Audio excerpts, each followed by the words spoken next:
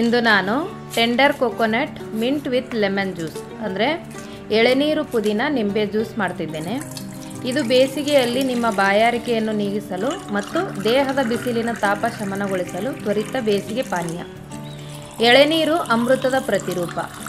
ಬರೀ ಎಳೆನೀರು ಕುಡಿಯುವ ಬದಲು ಈ ಥರ tender coconut mint with lemon juice ಮಾಡಿ ಕುಡಿದ್ರೆ ತುಂಬ ಸ್ವಾದಿಷ್ಟಕರವಾಗಿರುತ್ತದೆ.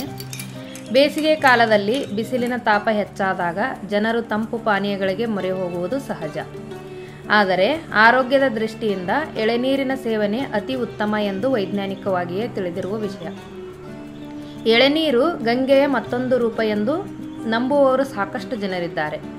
ಹಾಗಾದರೆ ಬನ್ನಿ, tender coconut, mint with lemon juice ಹೇಗೆ ಮಾಡೋದೆಂದು ತಿಳಿಯಲು ಈ ವಿಡಿಯೋ ಪೂರ್ತಿಯಾಗಿ ನೋಡಿ. ಇಷ್ಟವಾದರೆ ಲೈಕ್ ಮಾಡಿ ಶೇರ್ ಮಾಡಿ ಸಬ್ಸ್ಕ್ರೈಬ್ ಮಾಡಿ ಹಾಗೂ ನಿಮ್ಮ ಅನಿಸಿಕೆ ಅಭಿಪ್ರಾಯವನ್ನು ಕಮೆಂಟ್ ಮೂಲಕ ತಿಳಿಸಿ. ಆದರೆ ಅದಕ್ಕೂ ಮೊದಲು ನಮಸ್ಕಾರ. ಪಾಕಶಾಸ್ತ್ರ ಚಾನಲ್ಗೆ ಸ್ವಾಗತ.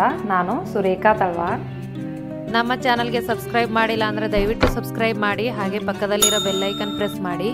ಬೆಲ್ಲೈಕನ್ ಪ್ರೆಸ್ ಮಾಡೋದ್ರಿಂದ ನಮ್ಮ ಹೊಸ ವಿಡಿಯೋಗಳ ನೋಟಿಫಿಕೇಶನ್ ನಿಮಗೆ ಬರುತ್ತೆ. ಎಳೆನೀರು ಪುದೀನ ನಿಂಬೆ ಜ್ಯೂಸ್ ಮಾಡೋ ವಿಧಾನ ನೋಡ್ಕೊಳ್ಳೋಣ. ತೆಂಗಿನಕಾಯಿನ ನಾವು ಇದು ಎಳೆ ತೆಂಗಿನಕಾಯಿ ತೊಗೊಂಡ್ರೆ ಈ ಥರ ಮನೆಯಲ್ಲಿ ಈಸಿಯಾಗಿ ಕಟ್ ಮಾಡ್ಕೋಬಹುದು. ನಾವು ಆನ್ಲೈನಲ್ಲಿ ತರಿಸಿದ್ವಿ. ನೋಡಿ, ಈ ಥರ ಒಂದು ಬೌಲಿಗೆ ಹಾಕ್ತಾ ಇದ್ದೀನಿ. ಒಂದು ದಪ್ಪ ಇದೆ, ತುಂಬ ನೀರಿದೆ ಒಂದರಲ್ಲಿ. ಒಂದು ಚಿಕ್ಕದು ಸ್ವಲ್ಪ ಕಡಿಮೆ ಇತ್ತು ನೀರು. ಎರಡು ಸೇರಿ ಹೆಚ್ಚು ಕಮ್ಮಿ ಒಂದು ಮೂರು ಗ್ಲಾಸಷ್ಟು ಎಳ್ನೀರು ಬಂದಿದೆ ನೋಡಿ. ಈ ಥರ ಕಟ್ ಮಾಡಿ ನಾನು ಸೋದಿಸ್ಕೊತಾ ಇದ್ದೀನಿ. ಈಗ ಒಂದು ಗ್ಲಾಸಲ್ಲಿ ಒಂದು ಎರಡು ಟೇಬಲ್ ಸ್ಪೂನಷ್ಟು ಹನಿ ತೊಗೊಂಡಿದ್ದೀನಿ ನಾನು.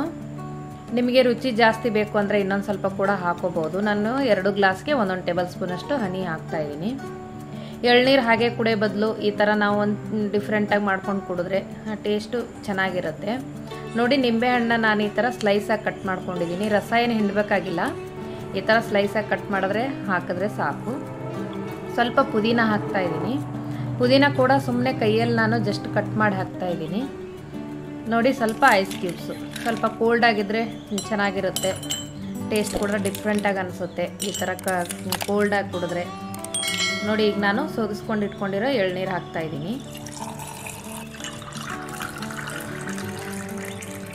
ನೋಡಿ, ಗ್ಲಾಸಿಗೆ ಎಳ್ನೀರು ಹಾಕ್ಬಿಟ್ಟು ಜಸ್ಟ್ ನಾನೀಗ ಸ್ಪೂನಲ್ಲಿ ಮಿಕ್ಸ್ ಮಾಡ್ತೀನಿ. ಅಷ್ಟು ಸಾಕು.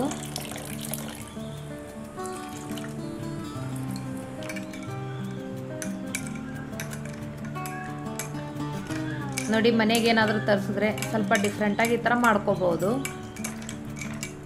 ನೋಡಿ, ಎಲ್ಲ ಮಿಕ್ಸ್ ಮಾಡ್ತಾ ಇದ್ದೀನಿ. ಮಿಕ್ಸ್ ಮಾಡುವಾಗ ಸ್ವಲ್ಪ ಲೆಮನ್ಗೆ ಪ್ರೆಸ್ ಮಾಡಿ ಅಷ್ಟೇ ಸಾಕು.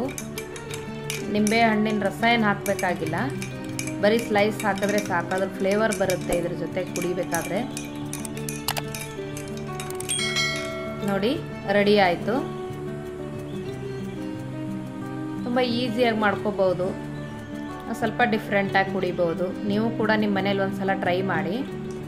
ಎಳ್ನೀರು ಪುದೀನ ನಿಂಬೆ ಜ್ಯೂಸ್ ಮಾಡಲು ಬೇಕಾಗುವ ಸಾಮಗ್ರಿಗಳು ಎಳನೀರು, ಪುದೀನ ಸ್ವಲ್ಪ, ಎರಡು ಟೇಬಲ್ ಸ್ಪೂನಷ್ಟು ಹನಿ ಸ್ವಲ್ಪ ನಿಂಬೆ ಹಣ್ಣಿನ ಕಟ್ ಮಾಡಿರೋ ಸ್ಲೈಸು ಸ್ವಲ್ಪ ಐಸ್ ಕ್ಯೂಬ್ಸು